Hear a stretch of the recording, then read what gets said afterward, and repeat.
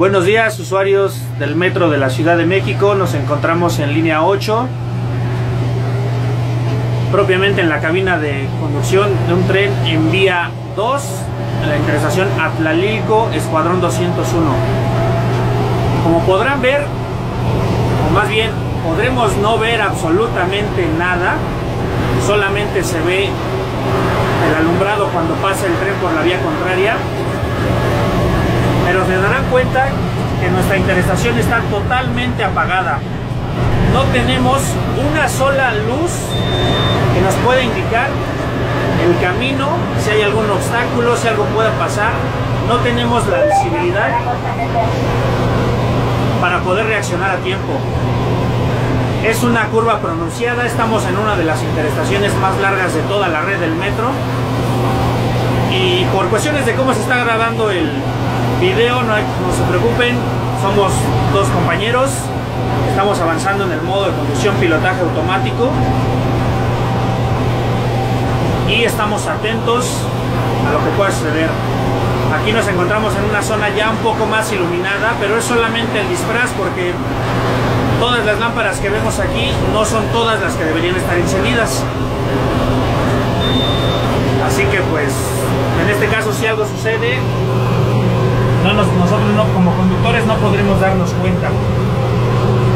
Y ya vimos que realmente a quienes culpan es a nosotros. Han mencionado que la señalización no falla. Y ahorita nos vamos a dar cuenta de un detalle.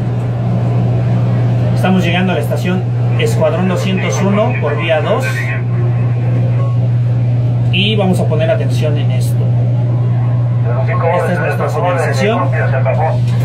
Sin embargo, nos damos cuenta que nuestro cofre de marcha y el indicador de despacho bajo orden, propiamente el DBO, se encuentran inservibles, no encienden.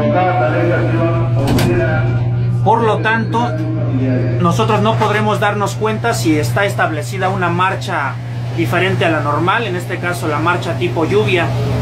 Es preocupante porque aquí sí salimos a la superficie y en dado caso de encontrarse una pista de rodamiento mojada y en el caso de fallar la señalización, como ya nos dimos cuenta que sí sucede, puede suceder otro percance como el que sucedió en línea 5. Hacemos hincapié en que esto está mal, que falta mantenimiento, que no todos son errores humanos, trabajamos, señores, con lo que nos dan. No con otra cosa. Los trenes no, los trenes no son nuevos. A veces se saca la chamba y tenemos que hacer pues, gala de nuestros conocimientos, de, la, de nuestra preparación. Estamos ya en la estación Aculco por vía 2. Nuestro sentido de apertura de puertas cambia y aquí nos damos cuenta que en esta, en esta estación sí funciona tanto el cofre de marcha como el DBO, así como debería estar funcionando la estación anterior. Eh, no funciona del todo, pero al menos lo notamos.